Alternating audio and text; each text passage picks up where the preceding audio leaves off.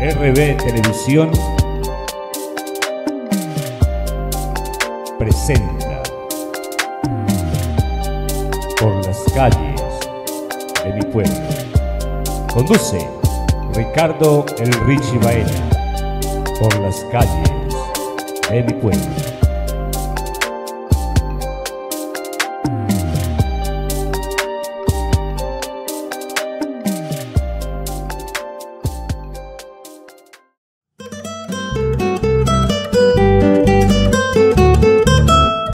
Bienvenidos a un nuevo programa por las calles de mi pueblo. En esta oportunidad vamos a tocar un tema muy importante de una calle muy tradicional de Belén de Umbría que tiene su historial, como es la calle de Gato Negro. En la actualidad, aquí donde estamos ubicados, estamos en la calle cuarta con carrera 11 que conduce a la plaza principal de Belén de Umbría.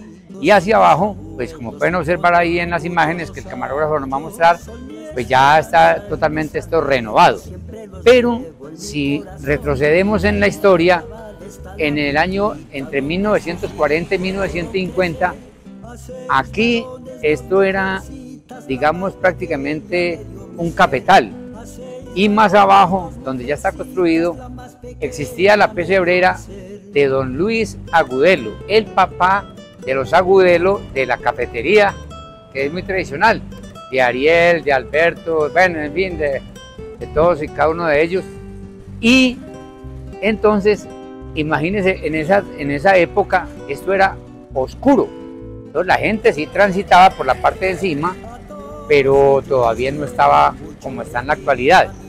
Entonces, por eso tocamos el tema, porque ahí es donde viene el nombre de gato negro. Resulta que la gente pasaba por acá después de las 7 de la noche y esto era un matorral demasiado oscuro.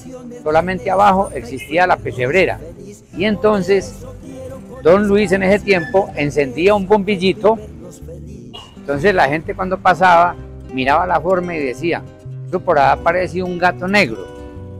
Entonces de ahí viene el nombre de esta calle averiguamos con algunas personas que conocen de la historia de Belén de Umbría y todos eh, coincidieron en que así es esta versión. Entonces, eh, y ya aquí en la esquina de, esta carrera, pues eh, don Elías Ramírez, muy tradicional y dueño de toda esta propiedad que vemos aquí a un lado, con su familia, colocó una cantina y la colocó la cantina de Gato Negro y precisamente en el interior de la cantina tenía un cuadro con un gato negro. Entonces amigos, bienvenidos. Esto es una pequeña reseña histórica de lo que es la calle de Gato Negro en esa época anterior. Y en la actualidad está totalmente transformada. Esta cuadra, que era prácticamente eh, poco transitada y, y con de pronto algunas casas, pues en la actualidad ya es un sector comercial demasiado atractivo de Belén de Umbría. Recuerde que estamos a través de RB Televisión, nuestro canal de televisión, y estamos con la cámara de Jaime Duque Arcila. No se les olvide en el momento de ver el programa, simplemente es suscribirse y darle play para que nos sigan apoyando y nosotros podamos crecer en el contenido y seguirles llevando estas imágenes a todos los amigos que nos ven a través del mundo. Agradecemos el patrocinio de Fabio Rodríguez, nuestro amigo, el artista que está en los Estados Unidos. Y vemos también eh, a Luis Carlos Trujillo Tindas, hombre, que está llevando un mensaje de recuperación a todos los jóvenes, que la verdad es un mensaje divino, grandioso, porque él está haciendo eso para que los jóvenes que de pronto están por ahí en medio de las drogas sepan de que, como lo dice él, de que sí se puede, Amigos, nosotros seguimos acá en, por las calles de mi pueblo y vamos a ver la actualidad de la calle de Gato Negro.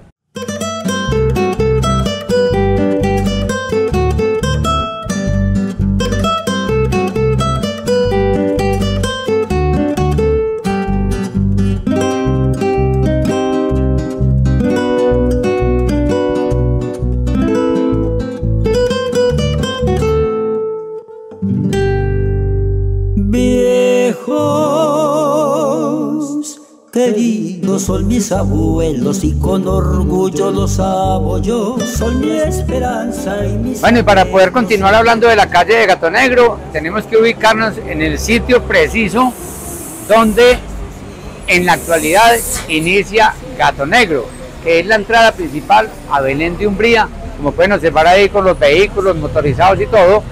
Y aquí, lo que les comentaba ahora, aquí en la esquina, aquí funcionaba la tienda de Don Nano Jiménez, muy tradicional.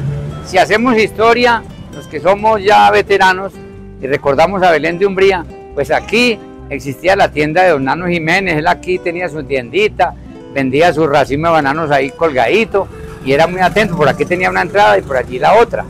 Entonces, aquí inicia lo que es la calle de Gato Negro y en la actualidad hay dos locales comerciales ya muy diferentes. O sea, la transformación comercial que ha habido, precisamente acá nos dice la niña que hay un local que se llama Los Tacones de Emma. Entonces ahí está. Y si ya vamos a recordar las familias que vivieron por acá en este sector, en ese tiempo por allá, en 1950, 1960, pues aquí de la tienda de Don Nano Jiménez seguía la familia Varela, seguía la familia Duque, seguía Don Evelio Cortés y eh, este, bueno, en, lo que corresponde a esta calle.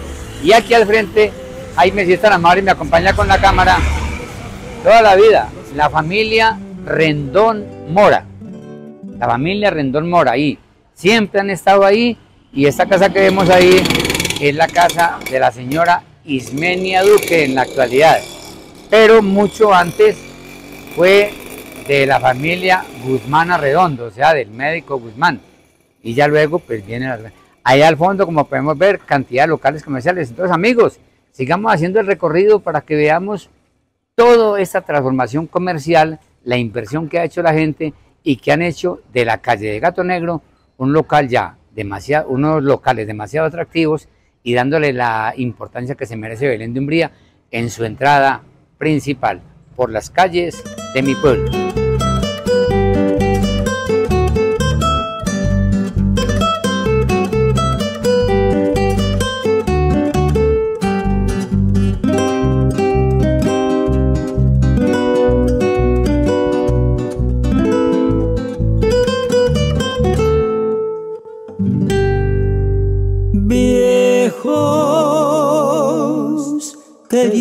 Son mis abuelos y con orgullo los amo yo. Son. Bueno, vamos a hacer historia también de lo que han sido en Belén de Umbría las peluquerías. Hace mucho tiempo, muchos años, solamente existían tres peluquerías, que eran la de Pelugio, la de don Gerardo Pérez, el papá de los ratones, y la de Faolpa, que todavía existe en la actualidad allá por los lados de la galería. Pero en la actualidad ha habido una transformación grande, ya no son peluquerías, sino barberías, dándole paso a esta cantidad de jóvenes que están hoy mostrando sus condiciones. Precisamente vamos a hablar aquí con Jefferson. Jefferson, ¿cómo estás? Bienvenido a Por las calles de mi pueblo. Bueno, Jefferson, estamos haciendo un reconocimiento a toda esta transformación de locales comerciales acá en la calle de Gato Negro y vemos de que las barberías acá ya se impusieron pues en el comercio y tienen un reconocimiento muy importante. ¿Desde cuándo es barbero? Yo soy barbero hace nueve años, desde el 2015. Bueno, Jefferson, ¿por qué lo apodan el tigre? Porque soy arriba de la vereda, de la vereda del tigre. Ah, ya, ya. Ah, bueno. Allá comenzamos. Bueno, eh, algo muy importante, aparte de que ustedes tienen ya, eh, digamos, donde de sufragar los gastos y todo, tener un empleo, también usted genera empleo, porque vemos una cantidad de jóvenes en la parte de atrás. Ah, sí, ¿Cómo los señor. prepara usted o qué? ¿O qué tienen que hacer ellos? Pues de- como toda persona tienen que cumplir con unas normas, tienen que eh, haber realizado sus estudios, tener unas normas en O bioseguridad. sea, no cualquiera, puede, no cualquiera puede hacerlo. Pues el que tenga las capacidades, que se haya educado, que haya hecho los estudios como le digo, porque si hay que cumplir con los requisitos, unas normas de bioseguridad para poder brindar un buen servicio y que nuestros clientes se sientan seguros a la hora de ser atendidos por uno de nosotros. Bueno, Jefferson, como nos están viendo a través de las redes sociales, a través de todo el mundo, a quien quiere saludar en el exterior, que, que cuando vengan a Belén de Umbría, que sepan que aquí hay un servicio profesional de barbería. No, pues saludar a todos los belumbrenses porque hemos sabido que han migrado mucho, de ahí que dar un saludo a todos y que recuerden que no pueden olvidar el terruño y que vengan, que pasen, que visiten, que Belén tiene mucho comercio. Barbería El El Tigre. tigre, barbería el tigre, señor. Bien, muchas gracias, amigo. Dios lo bendiga.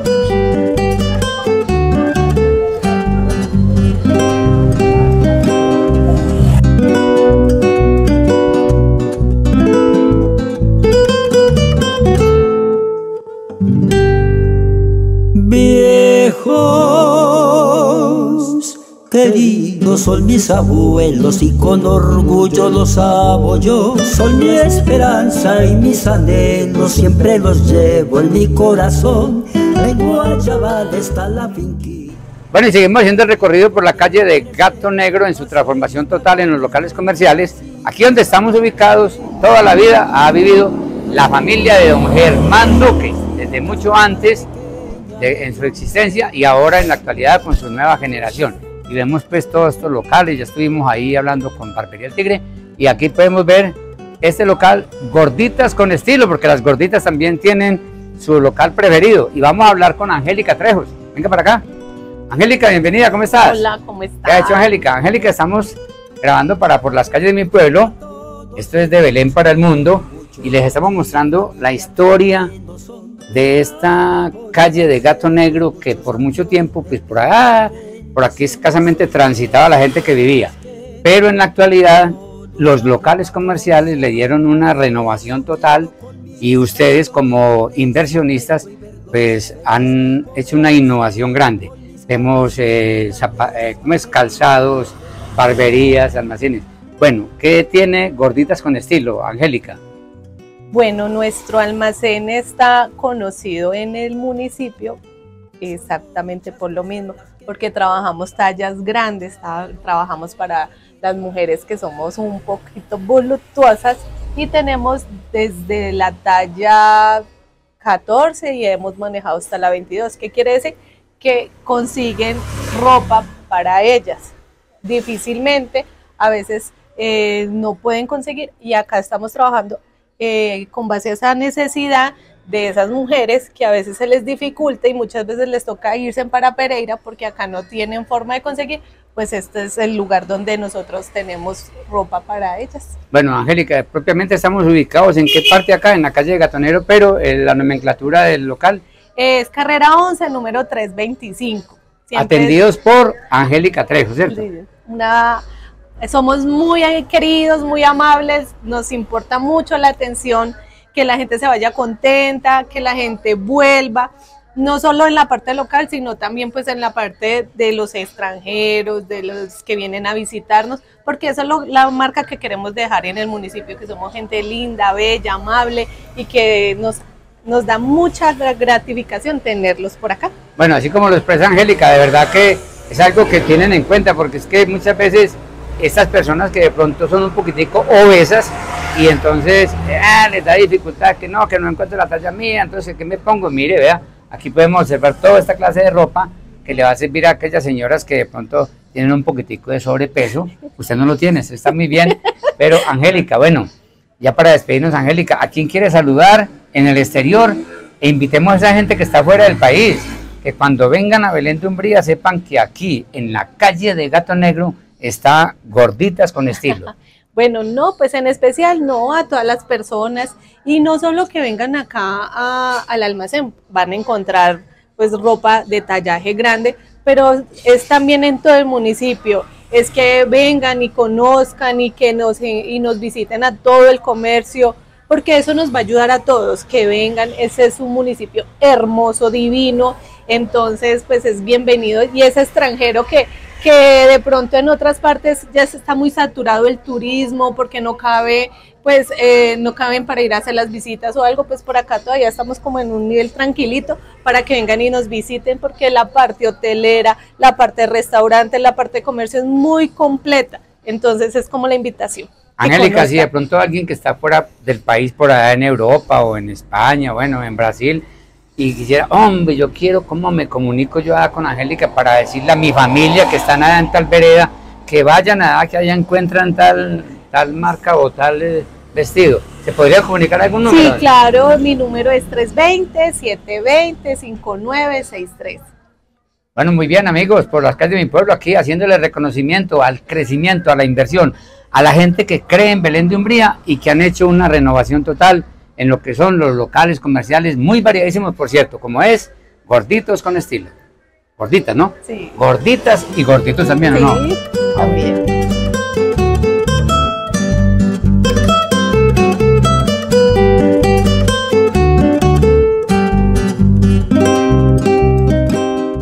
Bueno, y cuando hacíamos el comentario de que íbamos a reconocer la historia de Belén de Umbría, en la parte antigua y en la actualidad, con su transformación de locales comerciales, y hablábamos de lo que es la familia del gitano, de don Germán Pineda, pues precisamente estamos acá a un lado, en un local comercial que se llama Avelino Sport, y estamos con uno de sus nietos, vea, Gabriel, ¿cómo está? Bienvenido a Por las calles de mi pueblo. Muy bien, muchas gracias. Es un Bueno, placer. Gabriel, ¿qué nos ofrece su local comercial? Eh, pues aquí encontramos todos los implementos de- deportivos, ya sea accesorios, eh, cualquier cosa que necesiten para deportes, balones y pues implementos de gimnasio. También ropa deportiva, eh, uniformes deportivos y si son fanáticos al fútbol, aquí van a encontrar todo lo que necesiten.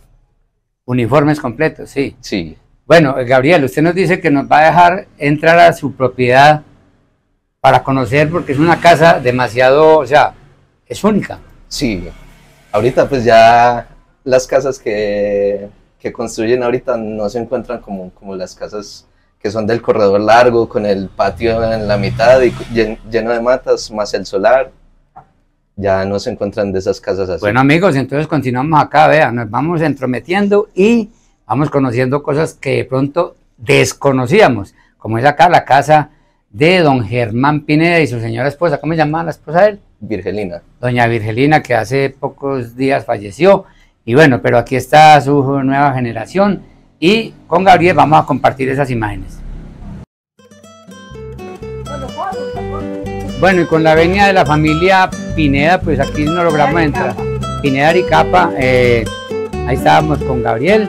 Y bueno, aquí ya nos metimos hacia el interior y podemos ver lo que él nos comentó, que es una casa que en la actualidad ya no existe, sino esta, es única. Lástima que en este momento el aguacero nos ha impedido. Ahí tenemos el Guayacán hasta el fondo, mire, el Guayacán son 120 años de existencia de esta casa y se conserva genuina, original. En mi corazón.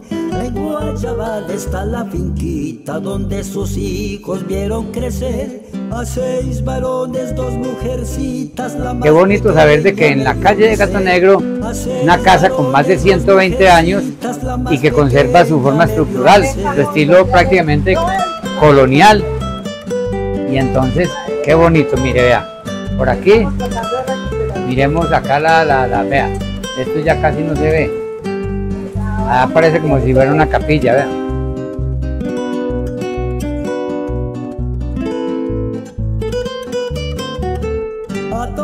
Ellos los quiero mucho, es mi familia, qué buenos son. Me dan apoyo, consejos, muchos a Dios le pido su bendición. Son muchas cosas las que me cuentan cómo lucharon para conseguir. Por eso quiero con mis canciones darles afecto y verlos feliz. Por eso quiero con mis canciones darles afecto y verlos feliz. Bueno, y por las calles de mi pueblo, pues logramos hacer un pequeño recorrido porque el historial de la calle de Gato Negro es demasiado extenso. Solamente logramos recopilar un poquito, se nos quedan muchas cosas en el camino, porque fueron muchas las familias que vivieron por acá, por este sector. Y, pero bueno, menos mal, logramos llevar una pequeña reseña histórica de lo que es la calle de Gato Negro en Belén de Umbría.